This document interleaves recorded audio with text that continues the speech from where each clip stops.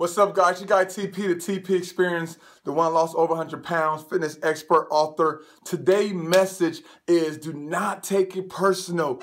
Don't take it personal.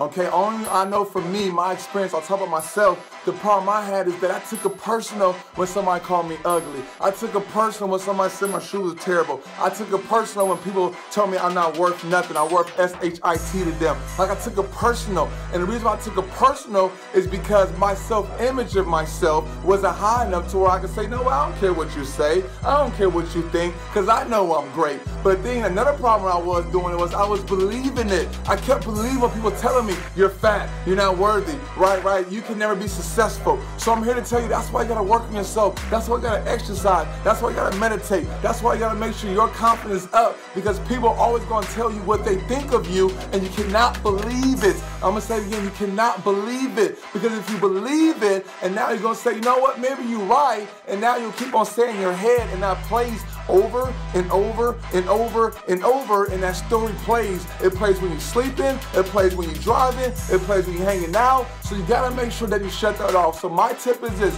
one, continue to work on you. Work on you, work on you to where people say something to you, your your your belief is so high in yourself to where you not for one second, one ounce you're gonna believe it. And two, understand that do not take things personal again because it's their reality, it's their perception what they think it is. So somebody said, girl, you don't look good, you're ugly, okay, that's what they think beauty is, right? If somebody said, oh, your body's not, not attractive, because that's what they think attractive is. But I'm here to tell you that you're awesome, you're worthy, you have greatness in you, you're a favor, you are blessed. I'm telling you right now, if you don't believe it, let me tell you, because if you want to believe what people say, believe what I say, okay? So again, I'm here to help you, I'm here to teach you, I'm here to be example for you. But there's so many ladies that I mentor, okay, felt like how you felt and they changed. They changed because I was able to teach them behaviors and habits, but also grow them mentally. So hope that helps. Again, if you need help, you want that breakthrough, right? If you say, you know what, I need somebody that understands me, understand my trouble,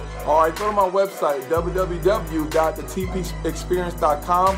And what I do is I teach breakthroughs, I teach transformations, because what I understand, guys, is that we sabotage ourselves because of our habits and because our uh, and our behaviors. And until we change that, and then weight gain is always going to be the side effect. TP Experience, let's go.